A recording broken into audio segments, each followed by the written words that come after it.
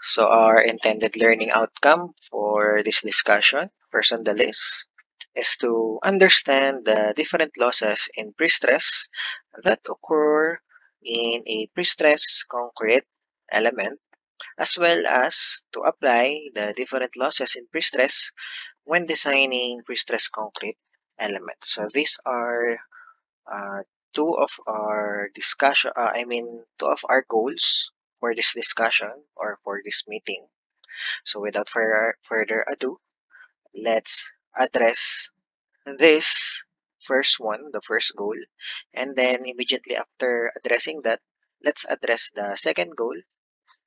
So again, without further ado, let's start our discussion. So now let us try to discuss what we call the pre-stress losses. So this pre these pre-stress losses are actually the main culprit why the initial pre-stressing force that is transferred by the pre-stressing reinforcement to the concrete element at transfer stage of pre-stressing uh, diminishes in magnitude. So this is the main culprit uh, with that scenario or with that phenomenon wherein the initial pre-stressing or pre-stress force uh, diminishes in magnitude at different stages of pre-stressing. So just to illustrate how the how uh, those pre-stress losses occur at the different stages of pre-stressing, let us uh, review how the pre-stressing operation works. So it starts with a precasting bed.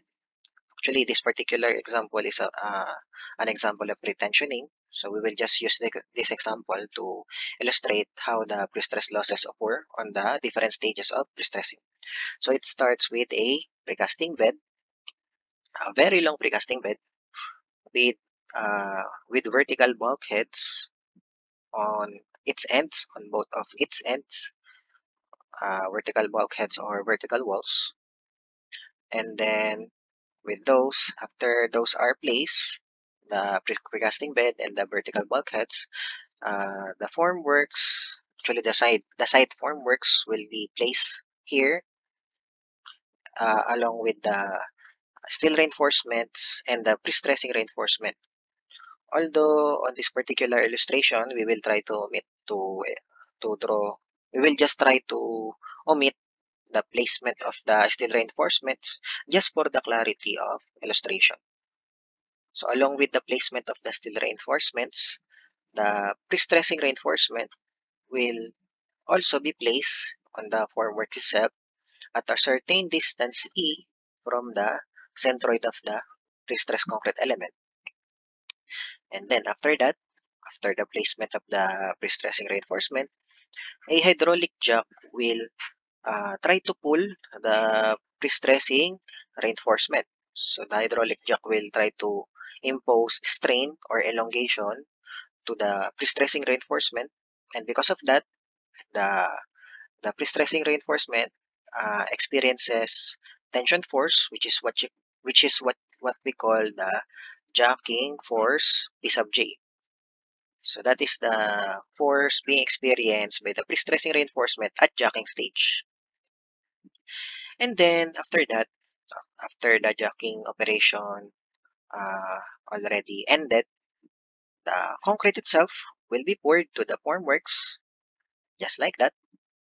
And then after some time, when the concrete element already achieved enough strength to resist the pre-stressing force that will be transferred later on by the pre-stressing reinforcement, the pre-stressing reinforcement will now be cut. So at that at, at that particular uh, moment, when the pre-stressing reinforcement is cut, the tendency is the force or the pre-stressing force uh, being experienced by the pre-stressing reinforcement will be transferred to the concrete element.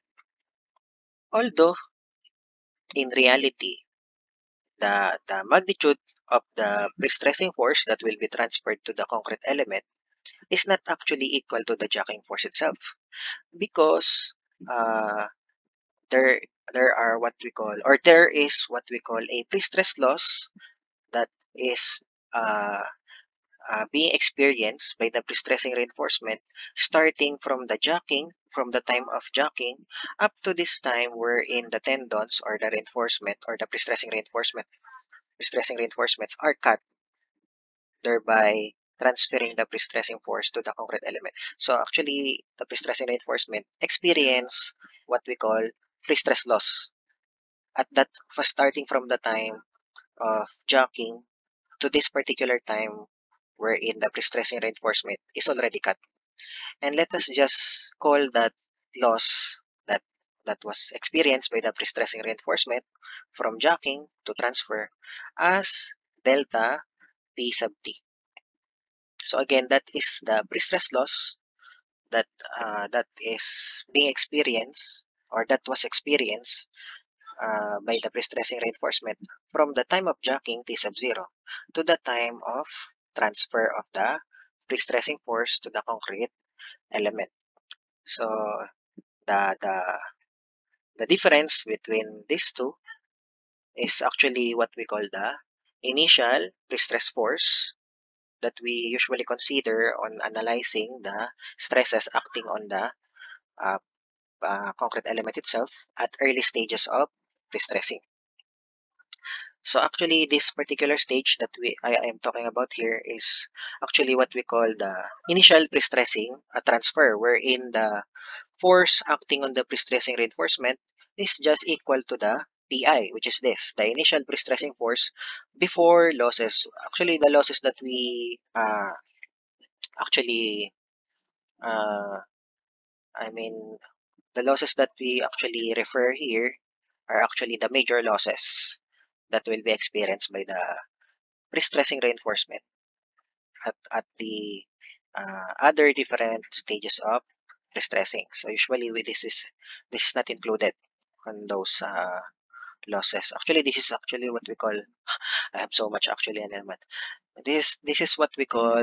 Uh, I mean, this loss is actually due to what we call uh, steel relaxation because as the pre-stressing reinforcement is jacked, thereby experiencing elongation, there is a tendency that the reinforcement, the pre-stressing reinforcement, will relax at some point on that particular uh, activity, which is the jacking activity. And when the pre-stressing reinforcement relaxes, it loses some portion of the pre-stress acting on it, thereby producing what we call pre-stress loss. So later on, we will talk about more about uh, pre-stress loss due to still relaxation. So, uh, and the moment, so the, the so the force acting on the pre-stressing reinforcement at this particular stage is the initial pre-stressing force Pi, and the bending moment being experienced by the concrete element itself is just equal to zero, or because uh, there are no uh, moments from transverse loads because there is no transverse loads in the first place that are acting on the concrete element itself. And take note the self-weight of the concrete element itself uh, is being supported fully by the precasting bed. So the only stress uh, that is being experienced by the concrete element at this particular stage of pre-stressing is just the is just due to the uh, initial pre-stressing force PI. Uh, and then, if we will just try to investigate what is the act actual force acting on the pre-stressing reinforcement, say for example at midspan, let us just cut the concrete at midspan. So the left segment, uh, we will just use the left segment. The left segment will just look something like this, wherein we cut the pre-stressing reinforcement, thereby the force acting on it will be shown. And and we all know that the force acting on the pre-stressing reinforcement is a, is a tension force, and that is what we call the P, the, the P that we are talking about here. So that is the force being experienced by the pre-stressing reinforcement at this particular stage. The force P, which is now equal to Pi at the initial pre-stressing at transfer. So again, because of that, because of that uh, pre-stressing force acting on the pre-stressing reinforcement that, that is being transferred to the concrete element, the concrete element tends to bend upward, thereby experiencing what we call camber. And when it bends uh, upward, it will act like a simply supported beam. And when it acts as simply supported beam, when it bended upward and experienced camber, that scenario will force the concrete element itself to support its own weight.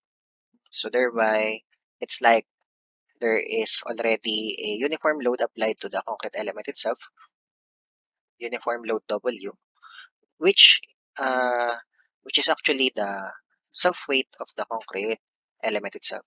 So at this particular stage, uh, uh, this is actually what we call uh, initial pre-stressing transfer with self-weight, wherein the concrete element now uh, experiences additional stress due to the uh, existence of the transverse load, which is actually the self-weight of the concrete element itself.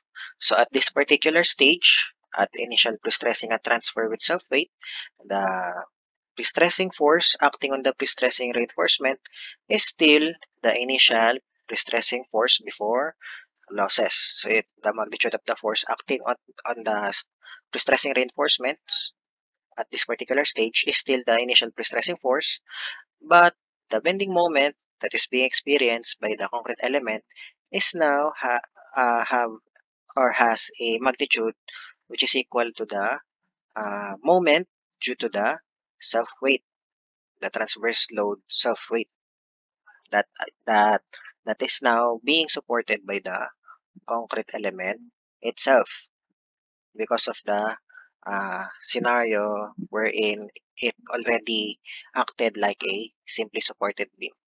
So because of that, uh, it that forces the concrete element to support its own weight. So there will be now a bending moment due to the dead load that will be in, uh, induced inside the concrete element at this particular stage of pre-stressing. So that those are what the uh, I mean this is the pre-stressing force still acting on the pre-stressing reinforcement at this particular stage. But uh, after that, after the uh, the concrete element bended upward and supported now its own weight, that that initial force, that PI, that initial pre-stressing force, will undergo a progressive process of reduction over a certain period of time. At this particular stage, the uh, the force acting on the pre-stressing reinforcement, which is initially the initial pre-stress force, will now experience uh, a progressive process of reduction, wherein that reduction is due to the different causes of pre-stress losses that again we will talk about further later. So let us just summarize all of those pre-stress losses that will be experienced by the pre-stressing reinforcement after this, after the initial pre-stressing at transfer with self-weight. Let us just summarize all of those losses as this uh, expression here, delta P sub T, which is the pre-stress losses, the total pre-stress losses that uh, are being experienced by the pre-stressing reinforcement from the time the pre-stressing force is transferred to the concrete element. That is the time that uh, the pre-stressing force is transferred to the concrete element up to the time wherein the pre-stress uh, losses uh, already stabilize, meaning uh, it already achieved a, a stable magnitude. So uh, after that, after the the initial pre-stressing force uh, diminish in magnitude due to the occurrence of the other pre-stress losses, which is this which is summarized by this expression, the pre-stressing force that will act on the pre-stressing reinforcement will now be the what we call the effective pre-stressing force P sub E. So that is actually the reduced magnitude of the initial pre-stressing force. And again, uh, that effective pre-stressing force uh, was achieved because of the occurrence of what we call the pre-stress losses uh, occurring from the time the pre-stress force is transferred to the concrete to the time when uh, the pre-stress losses already stabilize.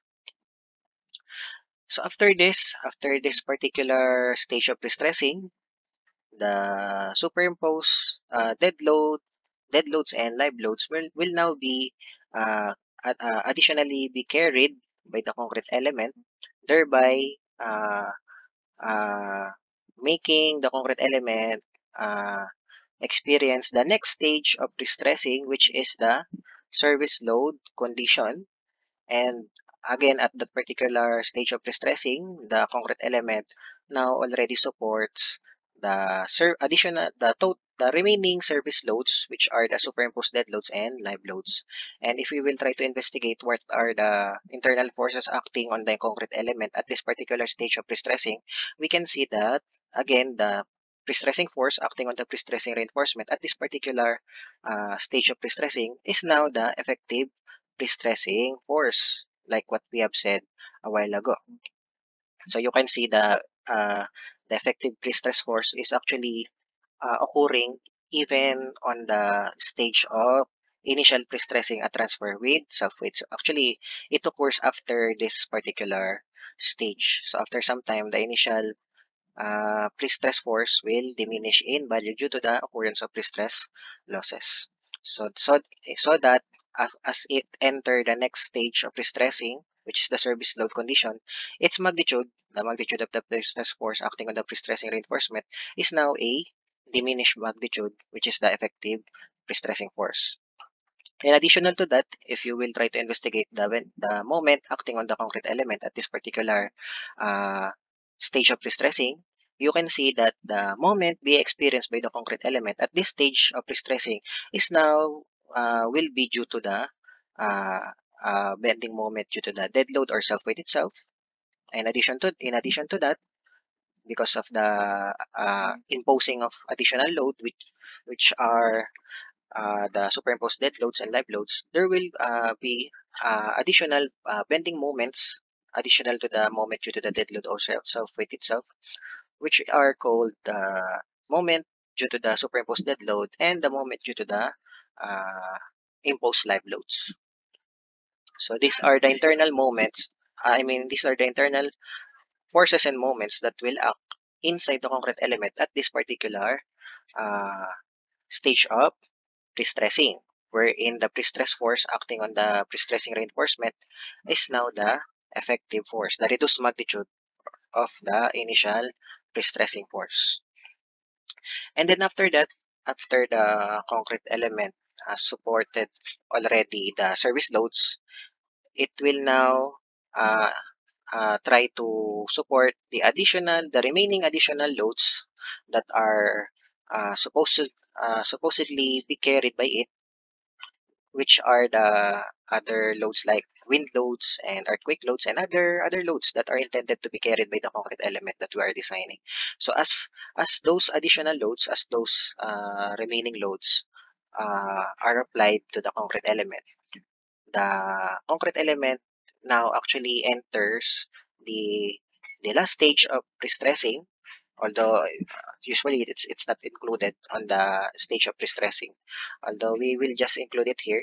So at, at that moment the concrete element will now enter the next stage which is now called the ultimate load condition wherein if you will try to investigate the internal forces and moments acting on the concrete element itself the the pre-stressing force acting on the pre-stressing reinforcement at this particular uh, stage is, is still usually still uh, effective pre-stressing force and the bending moment will now be due to the uh, moment uh, due to the uh, all loads that are supposedly be carried by the concrete element. And usually we call those uh, moments with with uh, application of some safety factors we usually call the moments or moment induced by those total loads with uh, safety factors included. We usually call them uh, the ultimate moment. So that is what actually happens in a concrete element as the uh, at different stages of pre-stressing. So you can see there are expressions here which are what we call the pre-stress losses that plays a vital role on the uh, on the expected stresses that will be experienced by the concrete element at different stages of pre-stressing. So since it plays a vital role here, therefore it is worthy to understand and study them. So let us try, let us now try to study further those pre-stress losses.